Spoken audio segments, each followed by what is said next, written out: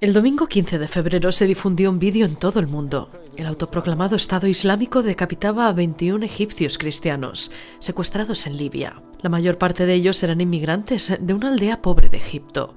Se mudaron a la vecina Libia buscando nuevas oportunidades, a pesar de la advertencia del gobierno de no instalarse en uno de los estados más peligrosos de la región. Una acción que ha suscitado reacciones en todo el mundo por parte de autoridades tanto civiles como religiosas. El Consejo de las Iglesias de Oriente Medio condenó este gesto, hablando de fanatismo, que difundió una nota en árabe.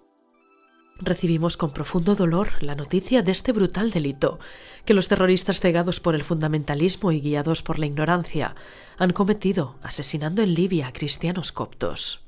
En Israel y en los territorios palestinos, cristianos de diferentes denominaciones rezaron por las víctimas y por sus familias, pidiendo la paz. En Belén, en la Plaza del Pesebre, autoridades civiles y religiosas manifestaron sus condolencias por todo lo sucedido.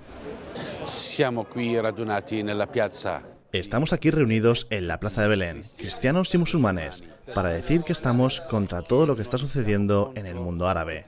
La vida es un don del Señor. Nadie tiene derecho a quitársela a nadie. Un dono del Signore. Nessuno ha el derecho de togliere la vida.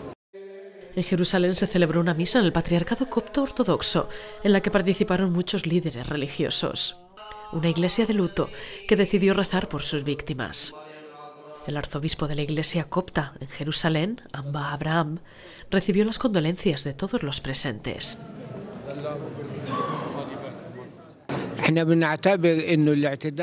Creemos que la agresión hacia cualquier persona es una agresión contra la humanidad, sobre todo teniendo en cuenta que se trata de inocentes.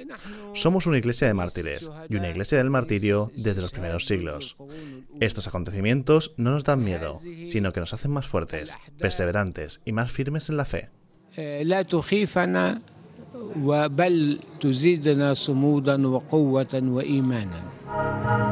El Papa Francisco ha intervenido sobre el asunto diciendo, la sangre de nuestros hermanos cristianos es un testimonio clamoroso.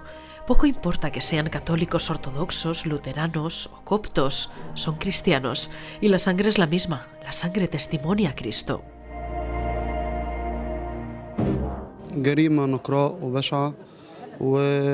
Es un crimen terrible. Rechazamos este crimen en todos los aspectos es un acto sin humanidad y no refleja el sentimiento humano de ninguna manera. En todas las casas hay tristeza. No se encienden los televisores ni se hacen fiestas. Entre la población, la tristeza reina en el corazón de todos, coptos o no coptos.